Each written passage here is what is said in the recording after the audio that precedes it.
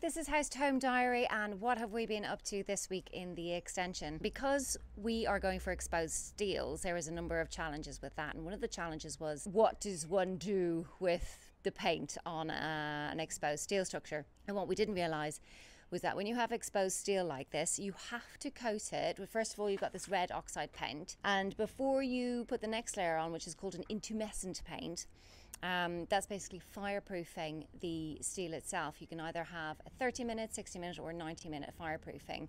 But I'll put the link down below um, explaining the company that I went with and they normally give you the details of what kind of paint you need to put on top of these steels. Before you do that, if you have any little scuffy areas like this here, um, you need to sand that down, wash it all down and top it up with a red oxide paint like this. Wait for it to dry and then you put your intumescent paint on according to the instructions and it's quite um, it's quite a tricky one actually. And then on top of that you have your top coat. And intumescent paint is not cheap, just to let you know. So another massive decision we decided to go with this week is to take out the chimney. It's gone.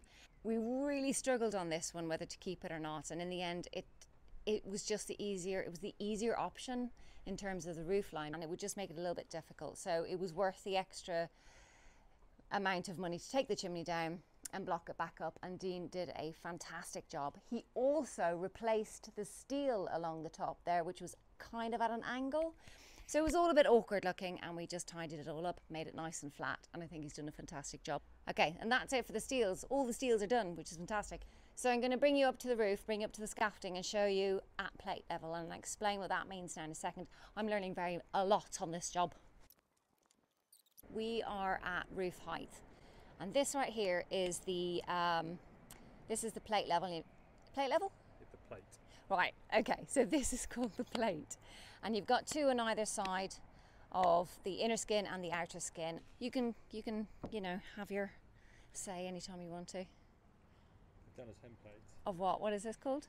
That's the joist. Right, okay, so they've done a template of the joist, and as you can see, eh, I'm not going to interfere with it too much because it's still a bit wet, but they create a template to make sure that they've got the right angle on the cutout of the joist.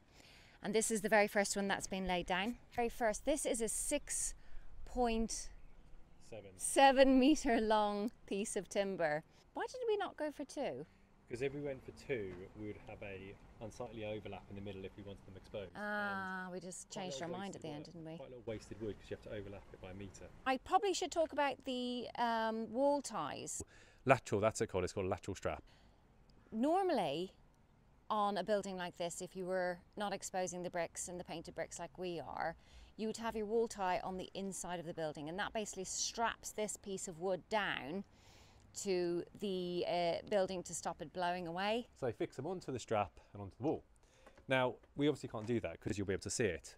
In fact, when I started looking into the manufacturers, what they kind of suggest is you put them in the cavity like that. Um, but obviously, not a lot of builders do that, and that's primarily because you'd have a bricklayer and then you'll have a roofer. interesting to know what everyone thinks about that, whether the right way is actually doing it in the cavity or is actually doing it on the outside. What we had to do was actually put it on the outside wall. So we had to talk to our structural engineer.